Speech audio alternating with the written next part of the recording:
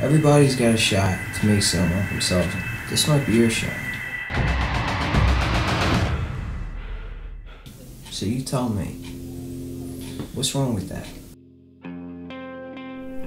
If you cut the head off, then the body will fall. Why not aim high? You and I both know we both need the money. I know it's not about the money, okay? I'm gonna be a dad. This is hope. The sooner you get that, the better. If you don't talk to him, someone else will. If Finn finds out you let him leave, we're all fucked.